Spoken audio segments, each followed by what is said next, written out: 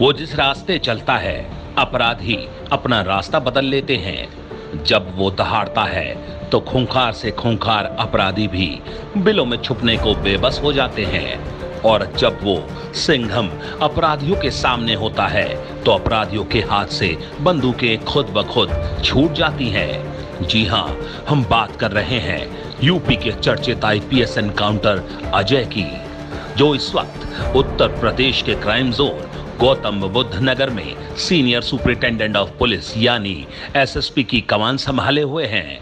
नोएडा को अपराध मुक्त करने के लिए अजय पाल शर्मा ने कमर कस रखी है। यही वजह है कि पुलिस कर्मियों को मुस्तैद रखने और अपराधियों की धर पकड़ने के लिए वह खुद भी रात के अंधेरे में निकल पड़ते हैं। इसलिए नोएडा में पुलिस काफ़ी चौकस है और अपराधों में कमी आई है। सिंघम अजयपाल शर्मा ने नोएडा और उसके आसपास अपराधियों को चुन चुन कर सलाखों के पीछे डालने के लिए नई कार्य योजना पर काम शुरू किया है। इस काम के लिए एसएसपी अजयपाल शर्मा ने स्पेशल नाइन नाम से एक टीम बनाई है। नोएडा के एसएसपी अजय पाल शर्मा ने सीओ सेकंड राजीव कुमार की अगुवाई में नौ जाबाज इंस्पेक्टरों की टीम बनाई गई है। टीम में शामिल सभी धुरंधर अफसर असाइनमेंट के मुताबिक अलग अलग काम करेंगे और सीओ राजीव कुमार को रिपोर्ट करेंगे। सीओ राजीव कुमार सभी जाबाज इंस्पेक्टरों को स्पेशल ट्रेनिंग देंगे। इसके बाद ये सभी अपने अधीनस्थ और सहयोगियों को ट्रेंड करेंगे।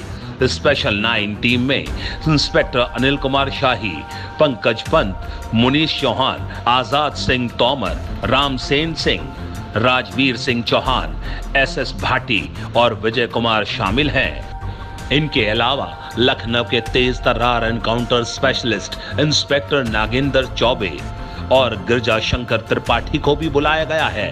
ये दोनों इंस्पेक्टर स्पेशल नाइन की टीम में कोर टू की भूमिका निभाएँगे। नागेंद्र चौबे और गिरजा शंकर त्रिपाठी ऐसे पुलिस अधिकारी हैं जिन्हें बदमाशों के खिलाफ रणनीति और विपरीत हालात में उनसे मुकाबला करने में महारत हासिल है। इन दो अफसरों के मिलने से एसएसपी अजय पाल शर्मा उत्साहित हैं। उनके इरादों से साफ़ है, green Noida, clean Noida. Slogan के साथ, अब क्राइम फ्री नोएडा भी जुड़ने वाला है। दरअसल, दिल्ली और एनसीआर में अनिल दुजाना, सुंदर भाटी और रणदीप ग्रोह का आतंक है।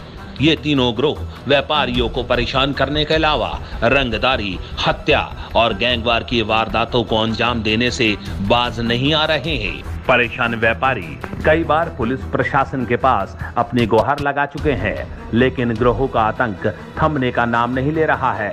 ये ग्रोह जेल में बैठे अपने सरगनाओं, अनिल दुजाना, सुंदर भाटी और रणदीप के इशारों पर काम करता है। इन्हीं सरगनाओं के खात्मे के लिए एसएसपी अजय पाल शर्मा ने ये योजना बनाई है, ताकि औद्योगिक नगरी में व्यापारी भयमुक्त होकर कारोबार कर सकें।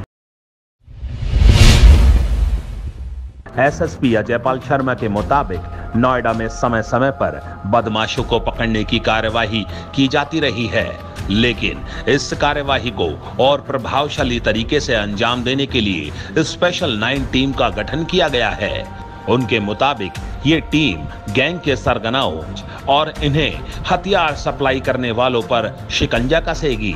स्पेशल लाइन टीम अपराधियों के गैंग के इनकम और फंडिंग को तबाह करने की योजना पर भी काम करेगी। नोएडा में हथियार रखने का शौक रखने वाले युवक भी इस टीम की नज़र में रहेंगे। साथ ही ये टीम क्रिमिनल गैंग में नव युवकों को शामिल किए जाने की गतिविधियों पर शिकंजा कसेगी।